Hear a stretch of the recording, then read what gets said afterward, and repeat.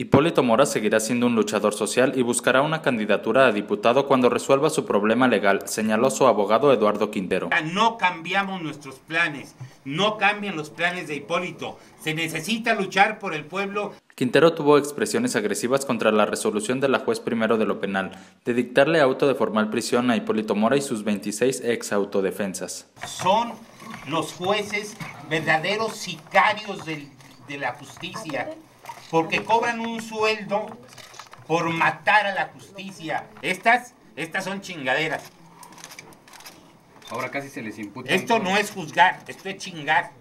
Durante el veredicto de Mora, Eduardo Quintero señaló que dicha resolución era contraria a las convicciones de la juez María Consuelo López. Ha habido casos concretos similares a estos donde ha dictado el auto de soltura. No podemos seguir tolerando que en un momento determinado al Poder Judicial le falte el poder necesario para poder levantarse y dejar de cobrar de rodillas. Declaró que apelarán tal resolución para que se reconozca la inocencia de su defendido. Con información de Héctor Moreno Informa, Cuasar TV.